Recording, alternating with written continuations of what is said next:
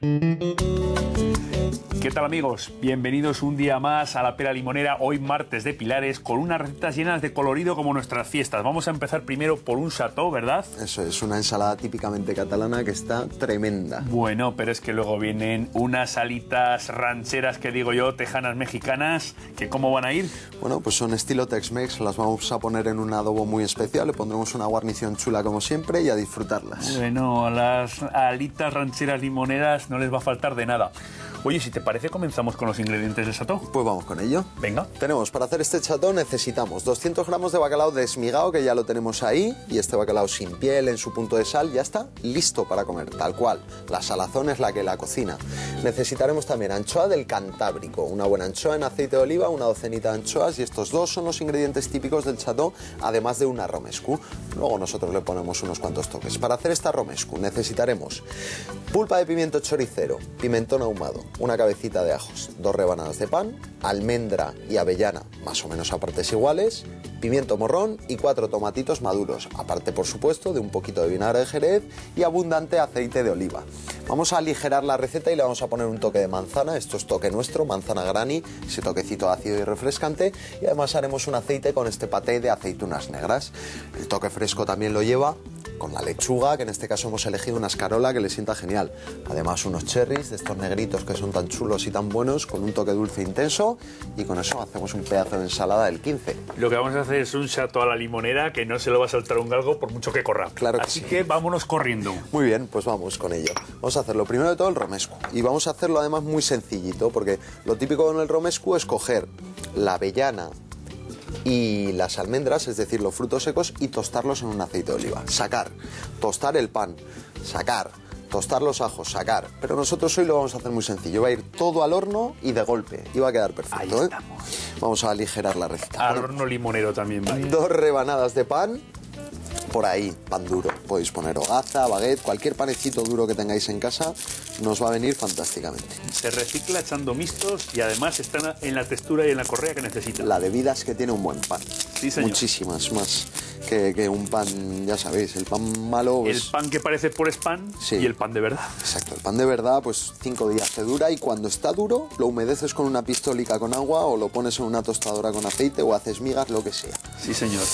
Puedes sacarle vidas y vidas y vidas. El pan que es malo, a las 5 de la tarde ya está que no hay quien A se lo las 5 coma. de la tarde hora taurina ya lo arrastran Eso es. directamente a las mulillas. Muy bien. Ponemos la cabecita de ajos un poco repelada, Muy bien.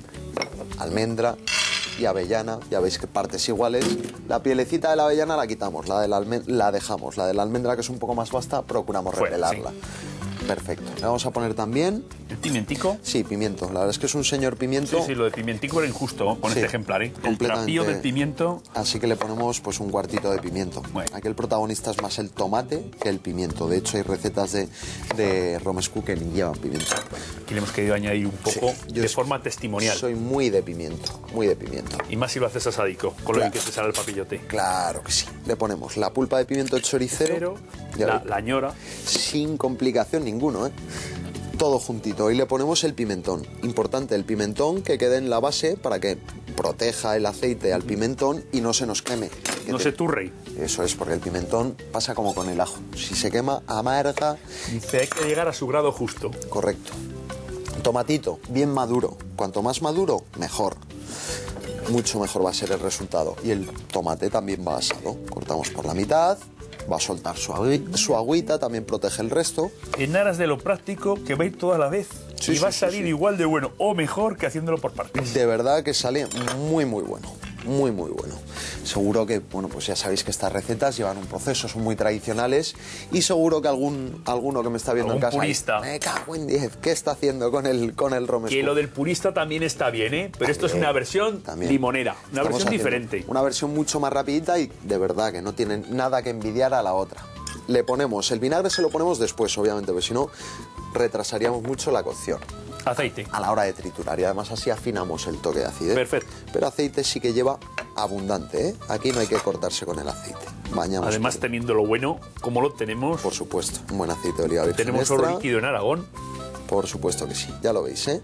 Empapamos un poquito todo y de esa manera tuesta y protege. Ahí lo tenemos. Muy bien, pues con estas cantidades yo creo que nos sale ya un romescu perfecto. ¿Cuánto Luego ratico de horno? Vamos a tener a 180 grados aproximadamente 30 minutos. Lo mejor es ir mirando, incluso si vemos que se está torrando demasiado, le ponemos un poco de papel de aluminio y protege. Y fuera. Nada más que Bueno, eso. mientras se lleva todos los ingredientes al recreo, porque el, el tiempo es un recreo de, de primaria, de media horica, pues nosotros ya, ¿con qué atacamos? Totalmente, media hora. Pues tienes toda la razón. Cuando eres niño te parece que es menos, ¿eh? Sí. Dice, han cortado minutos aquí. Se pasa Nos han capado el recreo. Muy bien, pues lo siguiente que vamos a hacer es, mientras se hace el romescu, que al fin y al cabo tenemos que esperar, es limpiar la escarola. Que también tiene su ciencia limpiar la escarola si no hemos limpiado ninguna. Bueno, Como todo, ¿no? Si no lo hemos hecho ninguna vez. apúntense que viene aquí el truco, Claro, ¿eh? fijaos, la escarola, bueno, pues es una lechuga muy económica, entonces no tenemos que tener miedo a limpiarla como se merece. Claro, nosotros vemos la escarola, vemos que lleva mucha parte verde Mucho rizo verde. y decimos, bueno, pues la cortamos y para adentro. Hay que quitar lo verde, porque lo verde amarga, amarga demasiado. Tiende a amargar, sí. Entonces, las partes exteriores que son lo verde es que amarga demasiado. Unas más que otras, pero por lo general se te carga la ensalada. Amarga. Solo hay que ver una cosa, que antes eh, los hortelanos de la huerta de Zaragoza, y aún lo siguen haciendo algunos, Sí. tenían la paciencia de muchas de ellas engomarlas en planta, en el campo, para que conservaran toda la blancura del cogollo de dentro Pues es cierto. y estuvieran más tiernas. Bueno, porque ahora- lo que verdea amarguea, ¿eh? Correcto, es que ahora lo que se hace a veces es ponerles un cuenco, Sí. una especie de cuenco, es como la endivia, como los espárragos blancos son albinas, digamos, Sí. entonces donde no le da el sol, cuanto más parte más aprovechable, es donde está rica y dulce. Pero mírate la parte de artesano de en cada una meterle su gomica, Pues su sí, gomica, Oye, y con el cardo, que lo que hacían antes sí que era una barbaridad. lo- los papeles de, Sí. de saco de pienso. de Ahora ya con los papeles, pero es que antes lo que hacían era enterrarlos en tierra. enterrarlo, y enterrarlo. subían ahí un metro con tierra. Madre mía, qué como un paliza. termitero de estos que salen en los documentales del Serengeti y ahí estaba el cardo metido. Eso es, eso es, pero vaya paliza que se Faltaba el guepardo agazapado mirando las gacelas en el cardo. Sí, pues Pero- no te extraña que haya sucedido alguna vez. ¿Ves? Sí, sobre todo si crían los cardos en Kenia, es fácil. Aquí el guepardo como que no es muy endémico de la zona. Efectivamente, el famoso cardo keniano. Muy bien, pues fijaos, lo que hacemos es desechar un poquito lo verde y nos vamos quedando con todas estas partes blancas, que aún siendo amargas, porque la escarola es amarga, esto es agradable. y es Tiene un amargorcico agradable. Correcto, Y además se mantiene siempre como tiesica, como, Tiesica. como, como viva. tiesica, efectivamente, es muy agradecida la escarola. Vamos cortando, la metemos a lavar en un escurridor y volvemos con el romesco recreo a los del romescu. Eso.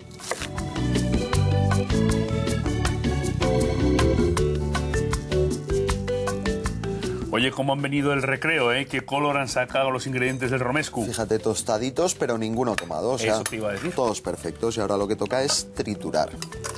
Ahí está. Vamos a poner el tomate, el pan tostado, las Ese pan, avellanas. qué gusto cogerá. Muy rico, muy rico, porque ha chupado ahí todo el aceite de oliva fantástico, la ñora, el pimentón, que se nota mucho. Los frutos secos, Sí. la Además, cabecita de ajos que no se ha desmoronado ni se ha quemado ni nada. efectivamente, sacaremos todo lo de dentro, porque en la cabeza de ajos lo que ha hecho el ajo es cocinarse como si fuese un A papillote. papillote también. Exacto, un papillote natural como la vida misma. Muy bien, aquí ya vamos a escurrir y además luego admite rectificación, o sea que nos ha quedado muy espeso, le ponemos un poquito más de vinagre, un poquito más de aceite, un poco de agua incluso para no ponerle un sabor más fuerte. Ahí lo tenemos, una maravilla de salsa, sin duda, una de las salsas reinas de la cocina. Además ¿eh? has echado toda la esencia. Claro que sí. Muy sencilla de hacer, ya lo habéis visto, que se hace, trabaja el horno. Y todo en un paso. Sí. Lo que vamos a hacer también es ponerle una pizca pequeñita, pequeñita de azúcar Ajá. para quitar un poco la acidez de Como lo el que pueda tomate frito algunas veces. Sí, exacto. Quitarle un pelín la acidez, pero no tiene que estar dulce, ¿eh? ni mucho menos. Solo quitarle la acidez. Eso es, ponemos también Un las- polvico escaso. sal, que no lo habíamos puesto. Ponemos el aceite, yo creo que con este de momento es suficiente, y le ponemos chorro de vinagre, como si fuese una vinagreta, quizá no, no tanto, pero bueno, un chorrito generoso de vinagre no le viene mal. Que se sepa que está ahí. Sí, exacto. Esa se es, la, sepa que está ahí. esa es la definición, que tú notes que lleva vinagre. De la Muy bien. pimienta nada, ¿no? La pimienta de momento no le vamos a poner. Y los ajicos abrimos por la mitad Mírate. y tenemos aquí una pomada de ajo. Y esto con la mano mismo, Que lo exprime como un limón. exacto. Y fijaos lo que cae ahí, que es una maravilla. La pulpa de... La pulpa limpia de los ajos. Por supuesto. Toda la cáscara se queda en la mano. Correcto. Aparte, el, el ajo ya ha ido dando sabor. Sí, sí. O sea que es que en ese asado ya va soltando su sabor. Pero vamos que si faltaba algo, Correcto, lo aprovechamos. Totalmente. Muy bien, lo tenemos aquí apañado, luego probamos si hace falta rectificar y de momento trituramos. Importante, que quede masticable, que no que sea- quede con textura. Eso es, que se note la avellana, la almendra, etcétera. Pues a dar unas vueltas al tío vivo. El color ya no lo puede tener mejor, ¿eh? Ya lo creo que sí. Vamos a probarlo. Y el olor. Qué buena. Y encima el gusto le acompaña. Vale. No puede ir Es que por mejores carriles. La salsa romescu es un escándalo lo buena que está. A guardar. Perfecto, pues ahora a ver si puedo seguir hablando, pero ya me ha entrado el- la salivación. Sí, sí, no, y yo te estoy mirando como un podenco. Yo estoy moviendo las orejas así. ¿Quién movía las orejas? Ah, el capitán Spock este de la Guerra de las Galaxias. ¿eh? Eso es, de Star Trek, efectivamente. esta te- de la luna, vamos. Sí. Estratosférico. Del más allá. Pero con las orejas como un podenco, eso es gráfico. Muy bien, pues lo que vamos a hacer ahora es poner, hacer Oh. un aceite de aceitunas negras. Muy bien. Entonces, ¿en qué consiste? Simplemente tenemos aquí paté de aceitunas negras, le metemos un buen chorretón de aceite de oliva y nos queda un aceite precioso. Aparte de lo bueno que está, es que es El chul- sabor. es chulísimo para decorar porque se queda por separadito, como si estuviese cortado. El paté de aceituna negra se queda separadico. Claro, el aceite siempre tenderá a subir Eso es. y abajo se queda pues esa, Se queda como cortadito. e- ese caviar de oliva negra. Efectivamente. Muy bien, pues por último, tenemos ya todo. La escarola, el bacalao, las anchoas, la romescu, el tomatito. El toque limonero, la manzana granny. Exacto. Vamos a picar en daditos una manzana granny, que esto refresca mucho. Y ya volvemos emplatando en nada. Pues ala. Ah, qué lustre ha cogido esa romescu, ¿eh? Eso es, perfecta. Y además le vamos a dar un toquecito especial. Tenemos las anchoas del Cantábrico Campos. Lo que vamos a hacer es aprovechar su aceite de oliva. Qué bueno está ese aceitico, que además es aceite de oliva y con todo el perfume de la anchoa. Correcto. Esta señora anchoa. Y lo que vamos a hacer es Pan es lo que quiero yo aquí. Ah, Pues en nada estamos. Remover y le, da- le damos un sabor extra de anchoa a esta salsita. la potenciamos. Correcto. Ahí lo tenemos. Pues a emplatar que nos Oye, vamos pues ya. te voy ¿eh? a traer un plato, volviendo con Star Trek, que va a llegar como un platillo. Muy bien. Aquí lo tienes. Venga, perfecto. Vamos a poner por aquí. Ahí lo tenemos todo despejadico. Y vamos a emplatar. Lo primero de todo, vamos a poner la escarola. De camica. Que siempre decimos, vamos a alinear. Mira, me equivoco. Lo primero de todo, vamos a poner un poquito de romescu para que fije la anchoa, Vale. la, la escarola. Ahí lo tenemos. El truco para que no se mueva. Exacto. Entonces manchamos un poquito el plato por aquí. Una mancha muy chula por otro Una lado. mancha que luego se rebañará, pero a placer. Sí, estas de las buenas. Estas de las que no molestan. Estas no molestan. Ponemos por aquí un poquito de escarola y siempre la alineamos aparte, pero en este caso como la escarola tiene tanta grieta, pues aunque le echemos con el biberón por encima, vamos, se alinea perfectamente. Ahí lo tenemos. La escarola se lo está absorbiendo. Vinagreta de tres partes de aceite de oliva por una de vinagre de manzana. Nos viene perfectamente. Ponemos Vinagre de manzana. eso es vinagre de manzana y simplemente salseamos y como hay lechugas, pues que es conveniente alinearlas antes porque si no, luego se te queda la mitad, tienes que remover. Esta al ser tan aireada le va cayendo y se alinea ya sola. Venga, ponemos toque refrescante, De la manzanica granny. eso es, manzanica granny, El toque que no estaba en ninguna receta. Toque limonero. Sí, esto es- El refrescante. el chatón o lleva... Son fiestas, hay que refrescarse. Tanto Muy- por dentro como por fuera. Muy bien traído, efectivamente. Le ponemos también nuestro bacalao, migas de bacalao, que Abadejico, Eso es. le dicen algunos, con cariño. Correcto. Lo tenemos aquí. Ponemos unas miguitas de bacalao y la verdad es que está súper bueno tal cual. Agazapado sobre la esquerola. Anchoas, vamos a poner, pues por comensal vamos a poner cuatro anchoitas, ¿no? Unas buenas anchoas, ponemos unos ricicos, Se llaman ricicos de escarola, ricicos de, de anchoa. claro que sí. Ahí lo tenemos, cuatro anchoitas, bien desespinadas con una carne delicada. Perfecto, seguimos. Va faltando colorcito, pero eso lo, lo vamos a solucionar rapidísimo. Ya llegará la romescu, ya llegará. Claro, tenemos la romescu, tenemos el paté de aceitunas negras, tenemos tomaticos. los cherries, o sea que ahora viene todo lo que le puede dar color a la receta. Color, Cherries de los oscuricos, Sí, cherries negros, que cher- saben muy buenos. muy ricos. La verdad es que los tomates cherry es de los tomates que tienes buenos durante todo el año, ¿eh? Con sabor. Sí, los tienes dulcecitos, que mira que hablamos veces de que echamos en falta buenos tomates muchas veces. Los cherries, la verdad es que por suerte, Siempre saben bien. pues sí, siguen estando buenos durante todo el año. Vamos a picar un poquito de cebollino y vamos rematando, ¿eh? Señora ensalada. Sí, sí, sí. Y además, pues llena, porque la romesco es una salsa que ya habéis visto los ingredientes que que no le falta de nada. Saludables. Ya lo creo que sí. Ponemos cebollino por acá, espolvoreamos bien, ponemos un puntico más de romesco aquí en el centro, que vaya cayendo por todo. Y ponemos... Además de suculento antioxidante, Sí, es esto verdad. más sano. Dios mío, si habéis cometido algún pecado en estas noches de fiestas, aquí tenéis la redención y la resurrección, Sí, diría sí, yo. la redención, pero un buen rato seguro que pasáis. rato ¿eh? buenísimo.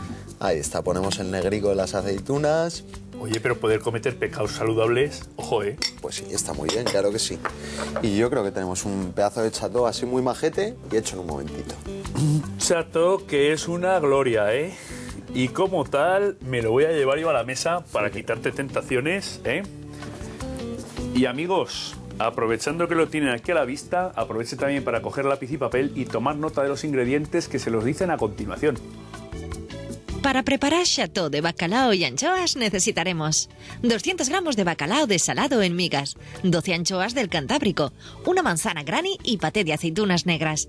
Para la salsa romesco, una tacita de avellanas, una tacita de almendras repeladas, una cabeza de ajos, dos rebanadas de pan, cuatro tomates muy maduros, un pimiento morrón, una cucharada de pulpa de ñoras, una pizca de pimentón ahumado, una taza de aceite de oliva virgen extra y un chorrito de vinagre de jerez. Además, sal, pimienta negra, cebollino, una escarola y tomates cherry.